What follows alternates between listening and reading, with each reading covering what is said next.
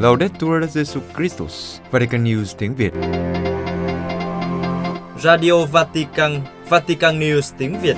Chương trình phát thanh hàng ngày về các hoạt động của Đức Thánh Cha, tin tức của Tòa Thánh và Giáo hội Hoàn Vũ được phát 7 ngày trên tuần từ Vatican và Roma. Mời quý vị nghe chương trình phát thanh hôm nay, thứ ba ngày mùng 4 tháng 7 gồm có Trước hết là bản tin Kế đến là mục Nền Kinh tế Francisco. và cuối cùng là gương chứng nhân. Bây giờ kính mời quý vị cùng Văn Cương và Xuân Khánh theo dõi tin tức.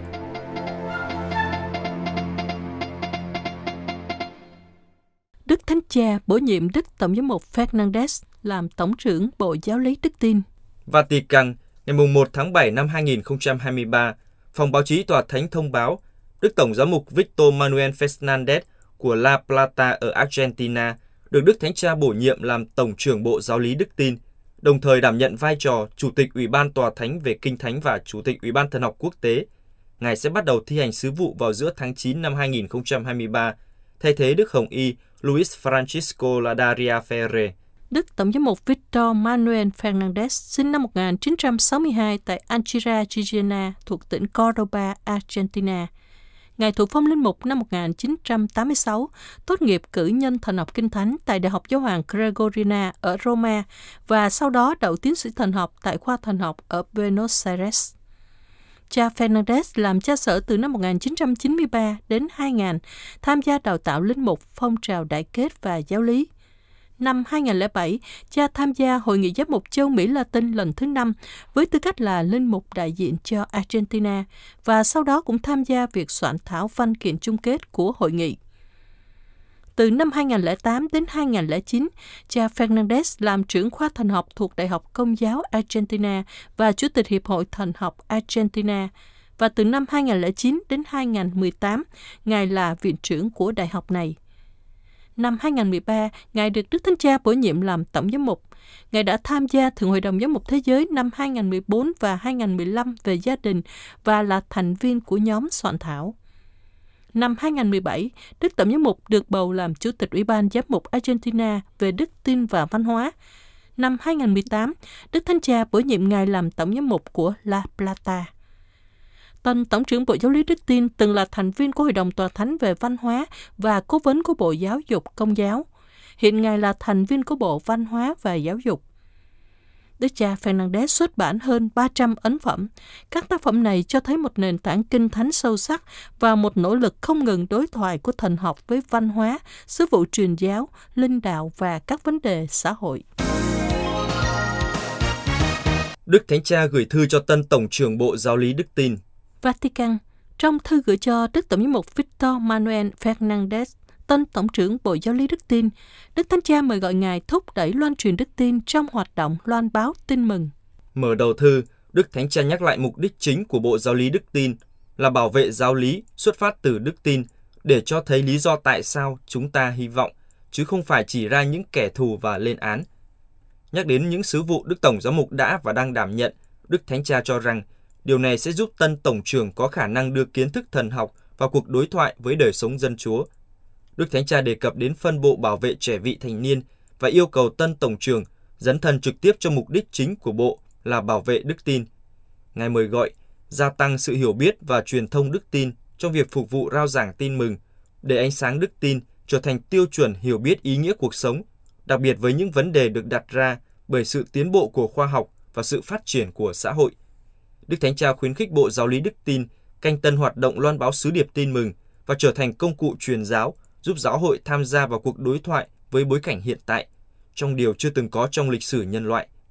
Thực vậy, giáo hội cần phát triển trong việc giải thích lời mặc khải và hiểu biết về sự thật, không áp đặt một cách diễn đạt duy nhất, bởi vì những dòng tư tưởng triết học, thần học và mục vụ khác nhau, nếu để thánh thần dung hòa trong sự tôn trọng và yêu thương, thì cũng có thể làm cho giáo hội phát triển.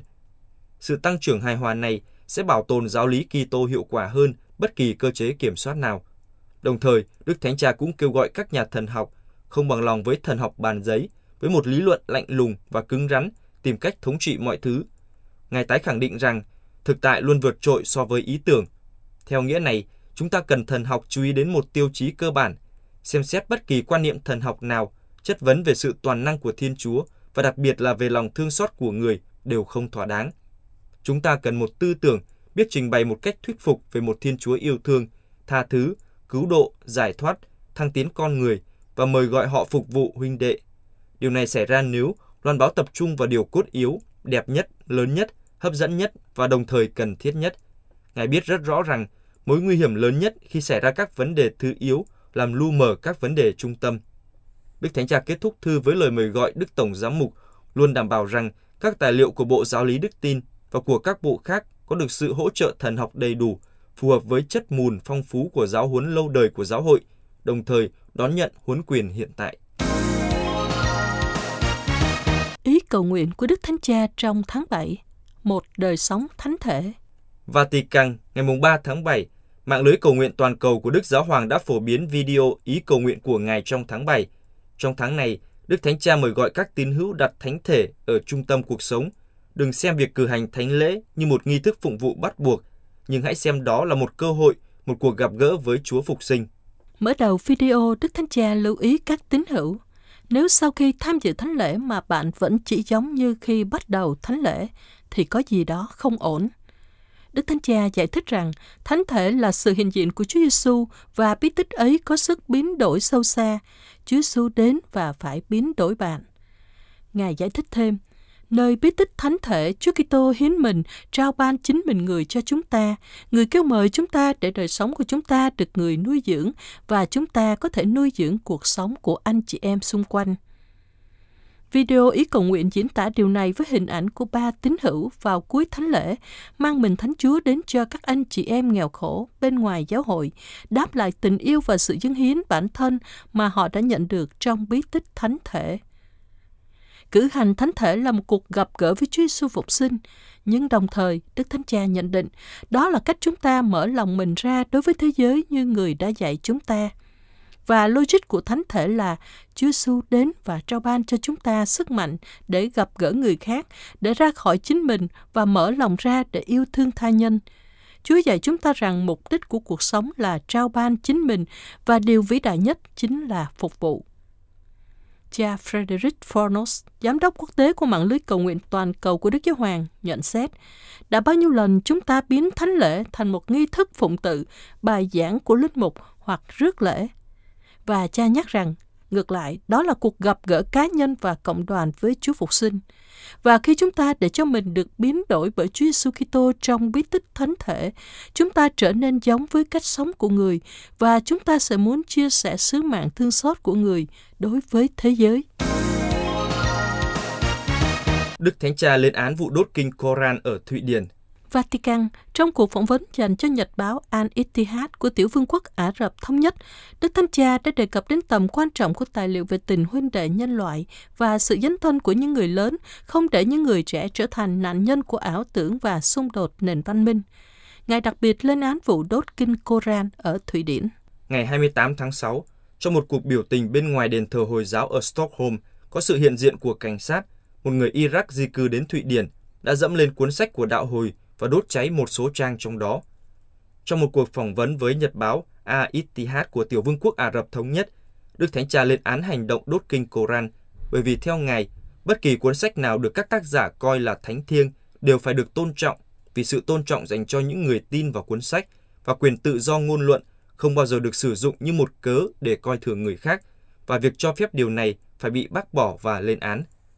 Nhắc lại chuyến viếng thăm Abu Dhabi năm 2019, Đức Thánh Cha bày tỏ sự đánh giá cao đối với cam kết của các tiểu vương quốc Ả Rập Thống Nhất và của Thái tử Mohammed bin Zayed đối với con đường truyền bá tình huynh đệ, hòa bình và lòng khoan dung, và yêu cầu không để những người trẻ trở thành nạn nhân của ảo tưởng và xung đột nền văn minh. Ngài nói, theo tôi, cách duy nhất để bảo vệ những người trẻ khỏi những thông điệp tiêu cực, những tin giả và bịa đặt, khỏi những cám dỗ của vật chất, hận thù và định kiến, là không để họ đơn độc trong trận chiến này, nhưng cung cấp cho họ những công cụ cần thiết đó là tự do, phân định và trách nhiệm. Trả lời câu hỏi về văn kiện tình huynh đệ nhân loại, Đức Thánh Cha khẳng định rằng Ngài luôn trao văn kiện này cho các phái đoàn mà Ngài tiếp tại Vatican, bởi vì Ngài tin rằng đó là một văn kiện quan trọng không chỉ cho đối thoại giữa các tôn giáo mà còn cho sự chung sống hòa bình giữa tất cả nhân loại. Sẽ có nền văn minh của tình huynh đệ hoặc sự thù địch, hoặc chúng ta cùng nhau xây dựng tương lai, hoặc sẽ không có tương lai. Nói về những dấn thân cụ thể theo hướng này, Đức Thánh Cha nhấn mạnh, nói về tình huynh đệ thì dễ, nhưng thước đo thực sự của tình huynh đệ là những gì chúng ta làm một cách cụ thể để giúp đỡ, hỗ trợ, cứu trợ, nuôi dưỡng và chào đón anh chị em tôi vào nhân loại. Về bản chất, mọi điều tốt phải được hướng đến mọi người không phân biệt. Nếu tôi chỉ làm điều tốt cho những người có suy nghĩ và niềm tin như tôi, thì điều tốt của tôi là đạo đức giả, bởi vì điều tốt không biết phân biệt và loại trừ. Tòa Thánh cảm ơn những người làm việc trên biển và mời gọi mọi người gần gũi nâng đỡ đời sống đức tin của họ. Vatican, trong sứ điệp nhân ngày Chúa Nhật Biển 2023, Đức Hùng Y Michael Chesney, Tổng trưởng Bộ Phục vụ Phát triển Con Người Toàn diện, cảm ơn những nhà hải hành về công việc phục vụ của họ đối với đời sống hàng ngày và kêu gọi mọi người gần gũi với họ, nâng đỡ đời sống đức tin của họ. Chúa Nhật Biển là ngày các giáo hội Kitô nhớ đến và cầu nguyện cho những người đi biển và gia đình họ và cảm ơn cuộc sống và công việc của họ. Ngày này được cử hành vào Chủ nhật thứ hai của tháng 7.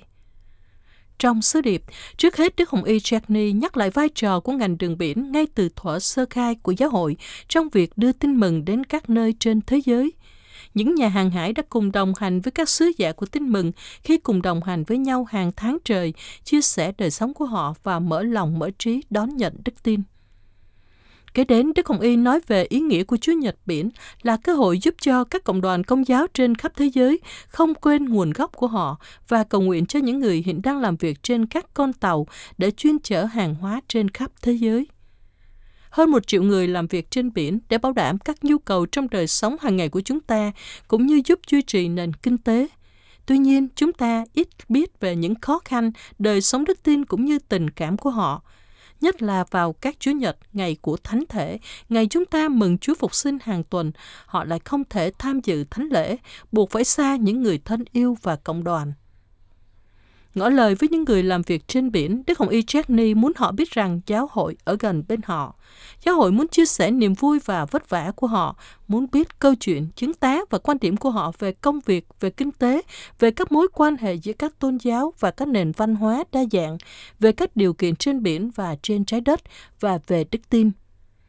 Kinh nghiệm của anh chị em có thể đụng chạm và thách thức tất cả các tín hữu của giáo hội và thông qua họ đến xã hội của chúng ta là một giáo hội hiệp hành. Đức Hồng Y khẳng định chúng ta cùng bước đi và không để ai bị ở lại đằng sau, cùng làm cho nhau phong phú. Do đó, mục tiêu trong năm nay là tìm ra những cách thế mà chúng ta có thể xích lại gần nhau hơn trong một cuộc trao đổi liên tục. Điều sẽ làm cho công việc của anh chị em bớt xa đời sống hàng ngày và đức tin. Kết thúc sứ điệp, Đức Hồng Y xin mẹ Maria ngôi sao biển chuyển cầu cho chúng ta và là nguồn an ủi và kiên trì của chúng ta. 663.000 khách hành hương, 32.717 tình nguyện viên, 727 giám mục và hồng y đã đăng ký tham dự Đại hội giới trẻ ở Lisbon 2023. Lisbon, ngày 30 tháng 6, một tháng trước ngày khai mạc Đại hội Giới Trẻ Thế giới Lisbon 2023, ban tổ chức cho biết, trong số 663.000 khách hành hương đăng ký trong giai đoạn đầu tiên, 313.000 người đã hoàn thành việc đăng ký của họ và cũng có 32.717 tình nguyện viên, 2.069 nhà báo và 727 giám mục và hồng y đã đăng ký tham dự đại hội. Thông cáo của Ban tổ chức Đại hội Giới Trẻ Thế giới Lisbon 2023 nêu rõ, trong số 663.000 khách hành hương đã đăng ký ở giai đoạn đầu tiên và đến từ 204 quốc gia, 480.000 người tiếp tục đăng ký ở giai đoạn thứ hai và hiện tại có 313.000 người đã hoàn thành việc đăng ký đến từ 151 quốc gia khác nhau. Các quốc gia có nhiều khách hành hương đã hoàn thành đăng ký, nhất là Tây Ban Nha với 58.531 người, tiếp đến là Ý với 53.803 và Pháp là 41.055 người. Bồ Đào Nha đứng thứ tư với 32.771 người và Hoa Kỳ là quốc gia ngoài châu Âu có số người xác nhận tham gia cao nhất từ trước đến nay với số lượng 14.435 người. Trong tổng số khách hành hương đã hoàn thành đăng ký là 214.500 người, tức 70% đã xin chỗ ở. Thông qua các giáo sứ trong các giáo phận chủ nhà, 7.138 gia đình sẵn sàng chào đón những người hành hương trẻ tuổi tại nhà của họ và hơn 470.000 chỗ ở qua đêm đã được xác định, cụ thể là trong các trường đại học và câu lạc bộ thể thao. Trong thời gian đại hội, 90% số những người đã đăng ký, tổng cộng 289.000 người đã đăng ký các bữa ăn. Ban tổ chức Đại hội Giới Trẻ Lisbon 2023 đã ký hợp đồng cung cấp gần 3 triệu bữa trưa và bữa tối thông qua hàng ngàn nhà hàng và các cơ sở tham gia. Ban tổ chức cho biết thêm, hiện tại có 32.717 bạn trẻ đã bắt đầu quá trình đăng ký làm thiện nguyện viên, trong đó 22.282 người đã hoàn tất quá trình đăng ký. Trong số này, có 500 người là bác sĩ, y tá hoặc sinh viên hoàn thành bằng cấp trong lĩnh vực y tế. Họ sẽ đảm nhận việc sơ cứu cho những người hành hương trong suốt tuần diễn ra đại hội. Ngoài ra, còn có 698 giám mục và 29 hồng y đăng ký tham dự đại hội.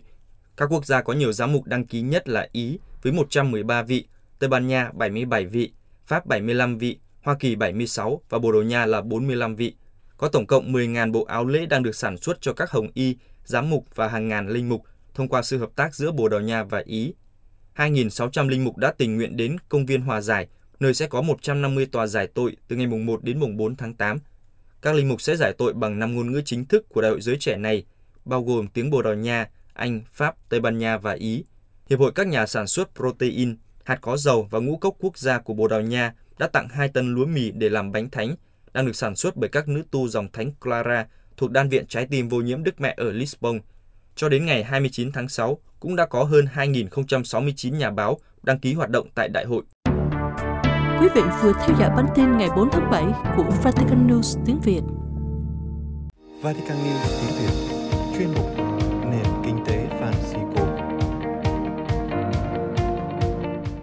Điểm báo về kinh tế Francisco.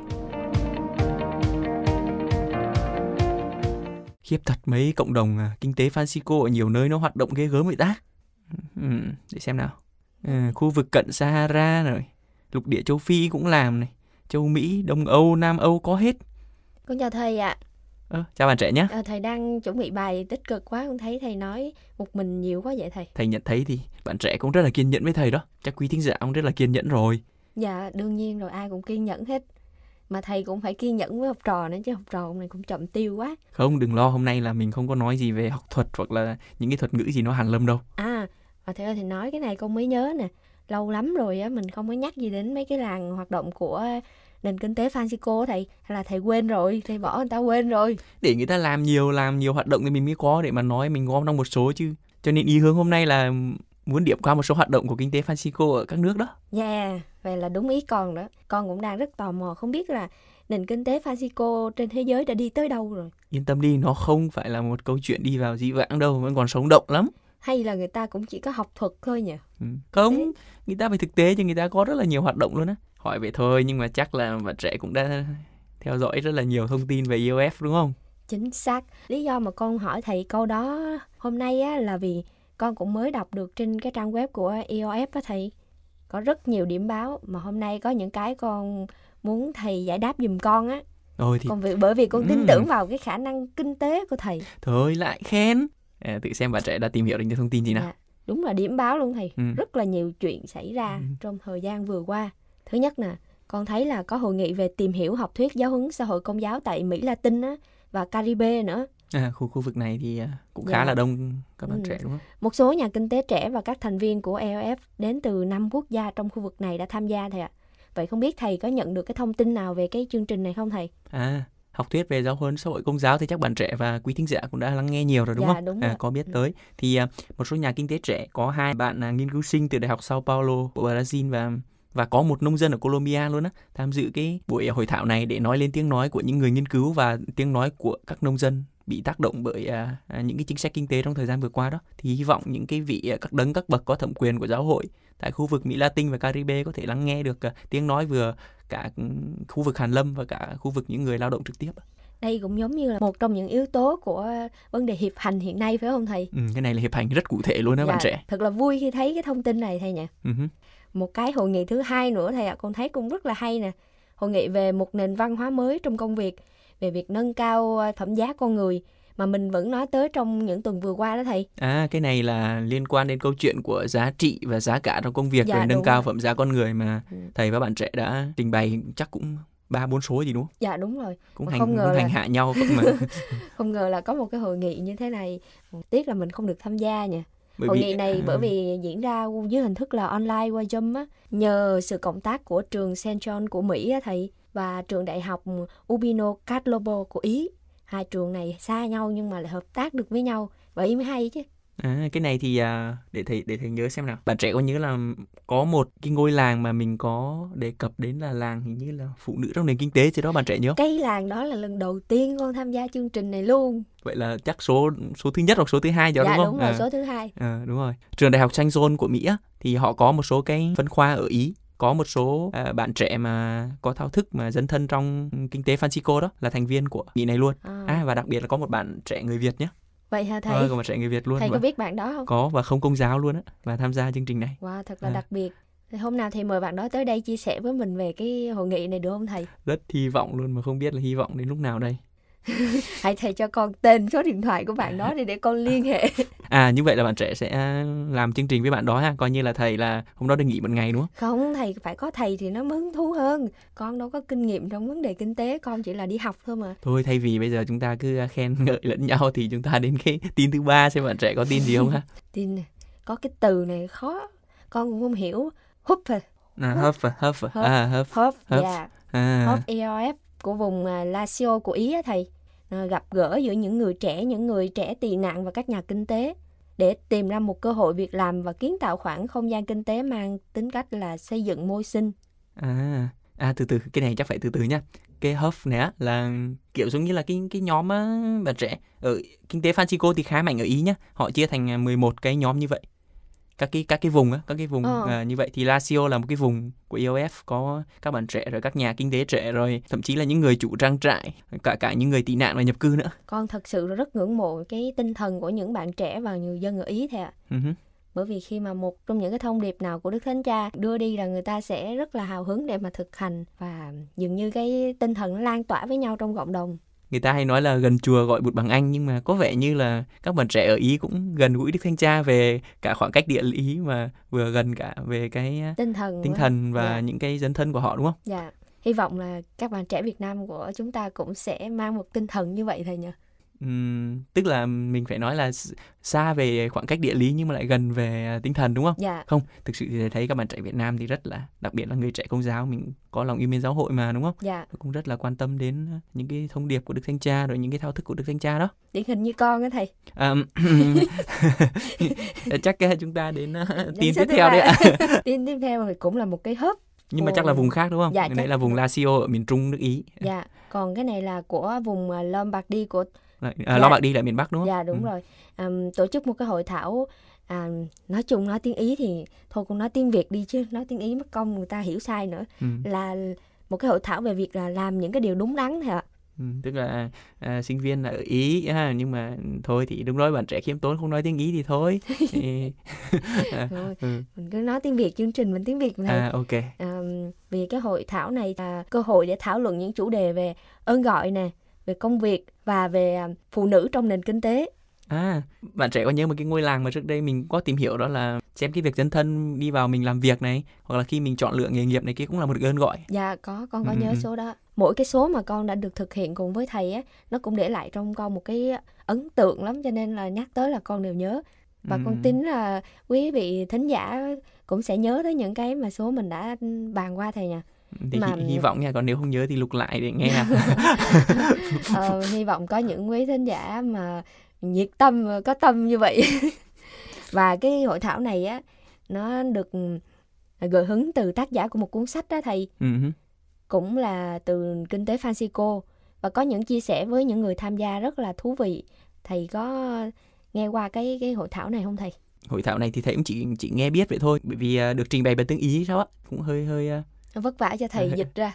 ừm, Em nói cái chỗ này nói với sách vở thì con mới nhớ nè. Hình như là kinh tế Francisco có nhiều sách lắm mà thầy chưa có giới thiệu cuốn sách nào hết. À, tại lười á bạn trẻ.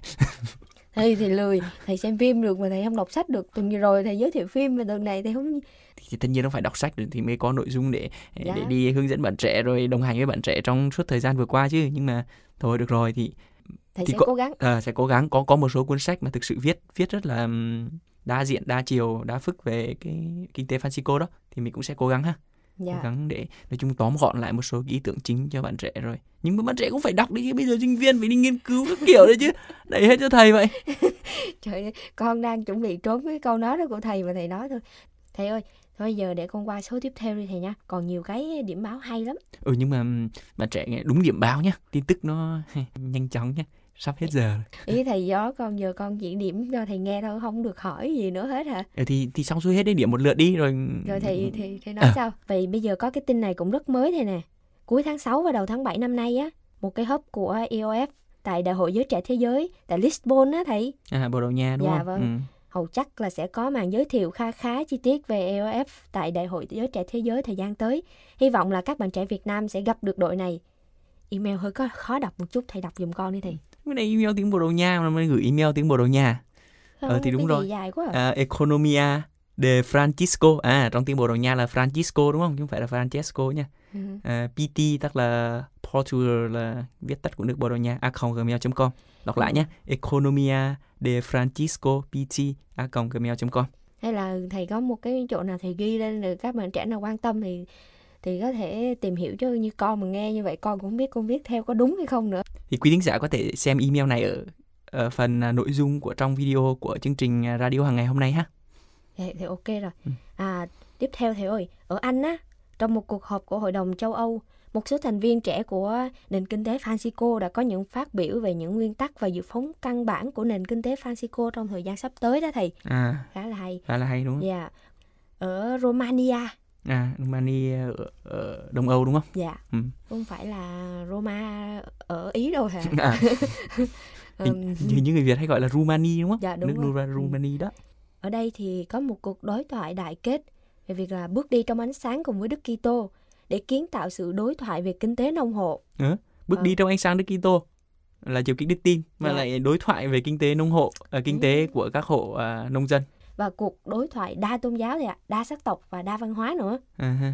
Và có khả năng hiện thực hóa trong nền kinh tế nông nghiệp đó thầy. À là bàn về cái khả năng hiện thực hóa của kinh tế Francisco trong kinh tế nông nghiệp tại cái nước đó đúng không? Dạ. Nhờ sao thầy?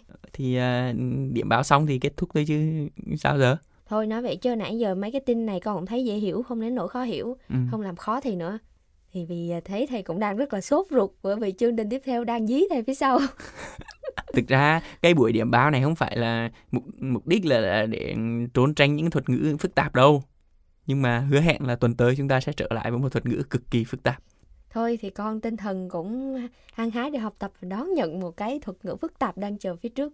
Nhưng mà bạn trẻ có thích cái chủ đề là bất bình đẳng không?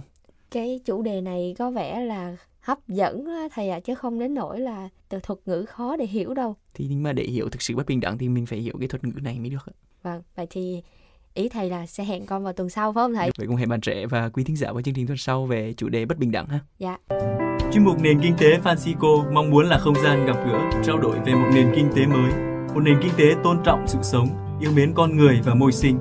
Các bạn có thể cộng tác bằng cách gửi những câu hỏi, thắc mắc, trăn trở hoặc chia sẻ góp ý cho chương trình qua email nền kinh tế francisco a gmail.com hoặc nhắn tin cho chúng mình qua trang Facebook Vatican News tiếng Việt hoặc để lại dòng comment trên YouTube nhé. Hẹn gặp lại các bạn vào thứ ba tuần tới. Xin chào và hẹn gặp lại.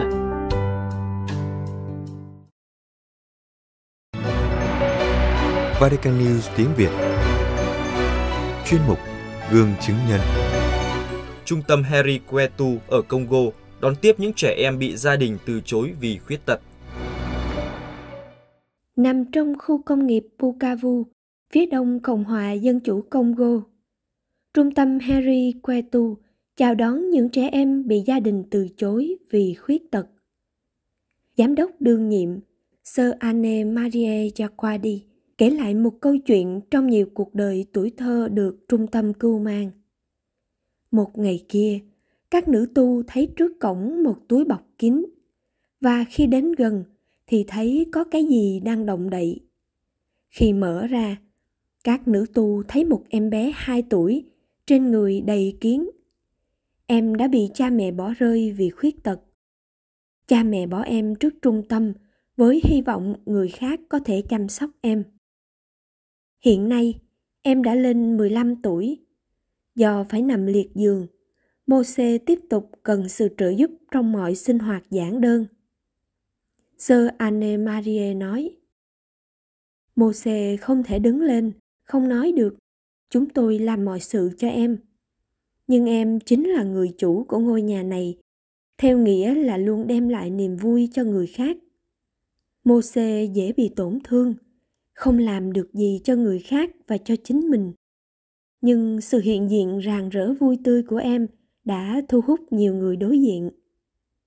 Mô-xê biểu lộ một cách quảng đại sự dịu dàng và niềm vui sống của mình qua tiếng hát, qua khuôn mặt rạng ngời và qua những cử chỉ âu yếm. Mỗi khi công việc phục vụ làm các nữ tu và nhân viên mệt mỏi, chính khuôn mặt thanh thản, an bình của một người đang sống khó khăn về thể lý đã làm cho mọi người thêm sức mạnh tiếp tục phục vụ. Được thành lập cách đây 44 năm, hoạt động của trung tâm Harry Quetu đã trải qua chiến tranh và đại dịch ở trung tâm Bukavu, một đất nước mà sự trợ giúp xã hội hầu như không có. Sơ Anne Marie giải thích, một trẻ khuyết tật thường được coi là dấu hiệu của điểm xấu, bởi vì em là gánh nặng quá lớn đối với các cha mẹ đang lâm vào cảnh nghèo khó. Trung tâm Henry Ketu được thành lập để giúp đỡ các em. Nằm trên con đường ồn ào dẫn đến chợ Kadutu. Trung tâm Harry Quetu hiện diện như một điểm sáng trong thành phố. Theo thời gian, trung tâm dần phát triển và ngày nay đang tiếp tục tìm kiếm những hình thức phục vụ khác cho những nhu cầu của người nghèo trong khu vực. Ngoài chỉnh hình và phục hồi chức năng, trung tâm còn thành lập xưởng sản xuất chân tay giả cho trẻ em và người lớn bị mất do nhiều nguyên nhân khác nhau đối với các phụ nữ bị khiếm thính. Trung tâm thành lập các xưởng may giúp cho họ có một cuộc sống tự lập hơn và được xã hội công nhận. Có những người sau khi rời trung tâm đã thành công và nay quay trở lại trung tâm để tiếp tục hỗ trợ những người khác. Trung tâm còn thành lập những lớp học chuyên biệt để các em nhỏ được bổ sung những điều còn thiếu thông qua sự hỗ trợ trong các hoạt động học tập và vui chơi dựa trên sự khác biệt chẳng hạn như một em gặp khó khăn trong việc đi lại có thể hướng dẫn người bạn khiếm thính trong khi cần dựa vào người bạn này để bước đi.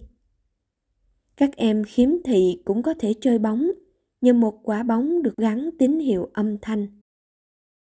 Trung tâm cũng tìm cách tái thiết lập mối liên hệ giữa các em và gia đình nghèo khổ, thiếu hiểu biết. Nhờ hoạt động trung gian này, có một số cha mẹ đã quay trở lại trung tâm để nhận lại con mình. Khi nhận thức rằng con của mình mặc dù bị khuyết tật, vẫn có thể biểu lộ những tình cảm và khả năng nhất định và đôi khi có thể phát triển năng khiếu. Các cha mẹ dần cảm thấy tự hào về con mình và đón nhận các em với tình thương thật sự. Ngày nay, trung tâm đã dần đi vào ổn định, nhưng sơ Anne Marie Chakwadi và các cộng tác viên vẫn tiếp tục muốn mở rộng thêm những dịch vụ khác cho các em nhỏ có hoàn cảnh đáng thương và những người lớn dễ bị tổn thương. Nói về ơn gọi dân hiến và mong muốn phục vụ những người rốt cùng trong xã hội. Sơ cho biết, tất cả là những trải nghiệm trong tuổi thơ. Thực tế, được sinh ra từ một gia đình có bầu khí yêu thương. Sơ Anne Marie Jacquardi đến từ giá phận Butembo Beni, Đông Bắc Congo, nơi người dân đang phải chịu đựng những cuộc tàn sát. Vào năm lên 11 tuổi, mẹ sơ lâm bệnh và lúc đó là lúc sơ học được tinh thần trách nhiệm khi chăm sóc ba em gái nhỏ. Đây cũng là khởi điểm cho ơn gọi dân hiến sau này của sơ. Từ nhỏ, sơ đã mong muốn được gần gũi phục vụ những người thiếu thốn nhất và ước muốn này đã theo sơ cho đến tuổi trưởng thành và quyết định dành cả cuộc đời để phục vụ những người bị thiệt thòi trong xã hội.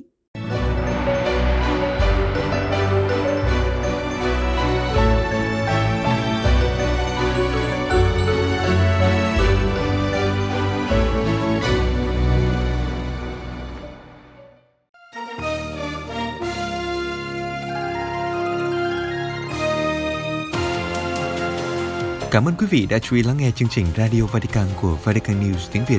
Xin Thiên Chúa chúc lành cho quý vị và toàn gia quyến.